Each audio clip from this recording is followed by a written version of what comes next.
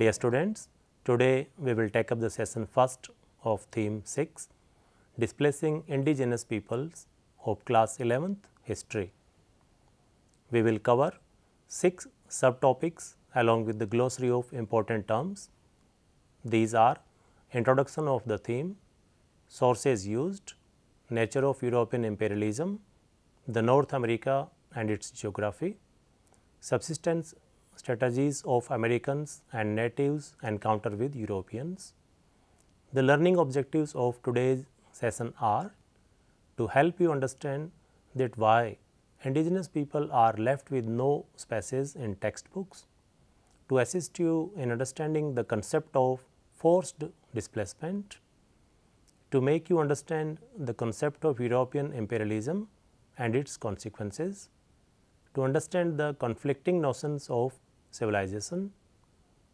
So, dear students, have you ever thought about that how countries like America evolved to be what it is today? Do all Americans belong to the same land?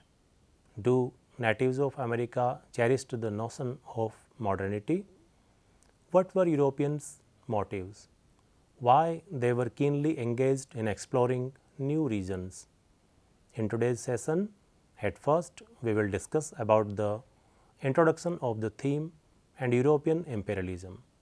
Then we will also learn about the indigenous tribes of North America and from which sources their history is reconstructed. Introduction The theme tells the story of what European settlers did to the native peoples of America and Australia. The natives and the Europeans represented competing notions of civilization. Sources Oral history, fictional works and later built museums, European imperialism, expansion drives undertaken by France, Holland and England in countries of America, Africa and Asia. Strong colonization motives drove countries into the race of colonization. Nature of control varied sometimes only colonization and sometimes gaining political prominence. Collection of revenue in colonies introduced more facilities in order to make trade easier. Official language of these colonies was English. Recall what is colonization? The trade of which commodities proved to be lucrative for Europeans. Dear students, our next topic of discussion are North America and its geography.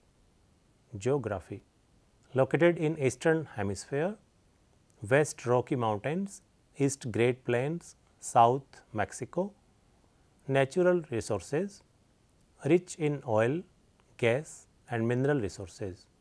Wheat, corn and fruit were grown extensively. Fishing is a major industry. So, dear students, so far we have covered European imperialism and physical features of North America. Let us move towards the understanding of nature of native people and their subsistence strategies. Furthermore, we will discuss the clash of civilizations. But before that, can you tell why North America qualified as a suitable place to become a colony of mother country Europe? The native people, initially migrants and later settled. Subsistence lived in groups along valleys, ate fish and meat, consumption on daily basis no need to own land, formed alliances and exchanged gifts. Skilled craft people and spoke numerous languages, encounter with Europeans, friendly and welcoming natives, exchange of local products, fish and furs in exchange of blankets, iron vessels, guns and alcohol with Europeans. Natives developed addiction to alcohol and Europeans developed for tobacco. Europeans became prominent in exchange, relationship and dictated terms of trade. So, this is how the story of acquisition of natives land and their displacement and roles. Let us now have a quick recall of what we have learned today. What is oral history?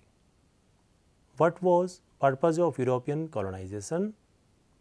How did trade of alcohol proved to be beneficial for Europeans? Assignment. It is now time to note down your assignment related to today's session. Give detailed analysis of North America's geography. Did natives behaved in the same way as the Europeans had written about them? Explain with the context of clash of civilizations. Let us have a quick look at the difficult terms employed in the chapter. With this, we have now come to the end of today's session. I hope you have enjoyed it. Remaining part of this theme will be discussed in the next session. Thank you very much for your patience.